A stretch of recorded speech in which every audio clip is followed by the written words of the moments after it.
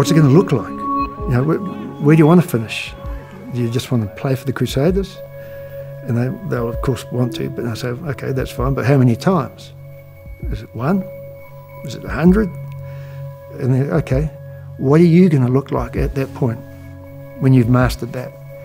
And then you wind it back and say, okay, well, when are you going to start?